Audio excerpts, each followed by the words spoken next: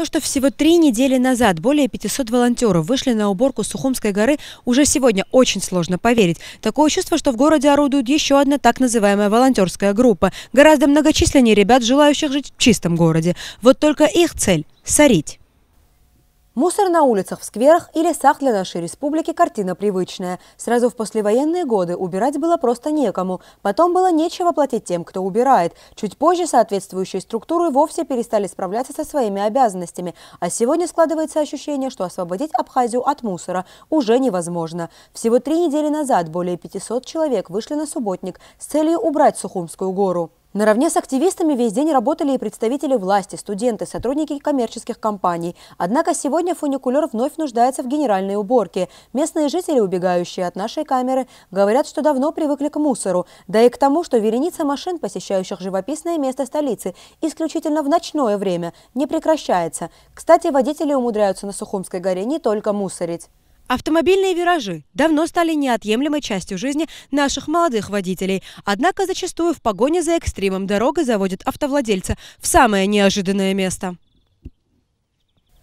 Наша съемочная группа обошла все места, которые совсем недавно были очищены от скопившегося за десятилетия бытового мусора. Картина старая. Грязь – это еще полбеды. Здесь практически на каждом квадратном метре валяются использованные шприцы. И это пугает местных жителей. Также известно, что фуникулер – излюбленное место и для свадебных фотосессий. Бесконечное количество бутылок из-под шампанского, как фундамент некоторых современных абхазских семей, начинающих строить чистое будущее. Однако необходимо отметить, что сегодняшний мусор еще и результат неоконченных работ.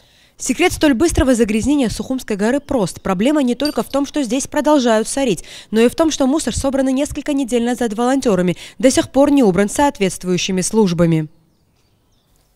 Субботник в конце марта прошел по инициативе молодых девушек и юношей из группы «Я хочу жить в чистом городе». Сами они после проведенных акций часто вновь приходят посмотреть на результаты своей работы.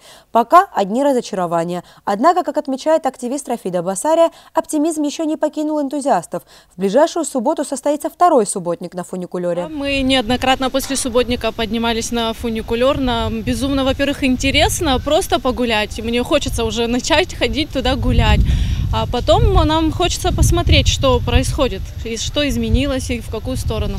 Мы видим, что меняется все, к сожалению, в худшую сторону, но мы не падаем духом. В субботу мы снова идем на субботник. Опять мы решили, э, ну, мы предполагаем, что людей будет не так много, как в прошлый раз. Мы будем брать маленькими участками по полдня, по несколько часов выделить выходной и убрать какой-нибудь участок. Я думаю, что это в наших силах. В субботу приглашаю всех на субботник.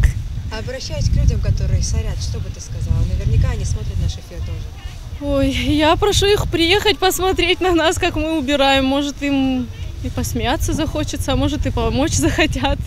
Активистами «Я хочу жить в чистом городе» также была убрана платформа ГУМа. Однако там порядок удается поддерживать. Местные жители благодарят волонтеров. Знаете, стало гораздо чище. Здесь был завал даже во времена, как сказать, курортников, отдыхающих. Здесь было страшно пройти, было очень стыдно э, перед э, отдыхающими, перед нашими, которые едут за столько километров и видят здесь вот такую грязь. Хочется призвать, как, попросить всех наших жителей, ну и отдыхающих, кто к нам собирается, поддерживать эту чистоту.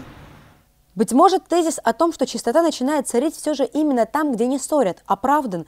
Нашей стране только предстоит победить проблему мусора. Очевидно одно – это случится только тогда, когда за победу будет бороться большинство населения страны.